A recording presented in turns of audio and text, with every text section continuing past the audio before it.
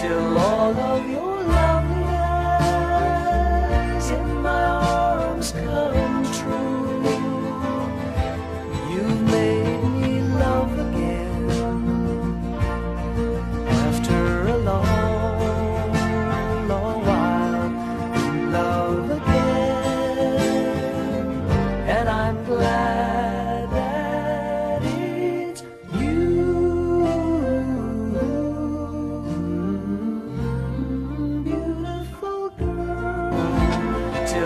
You, all of your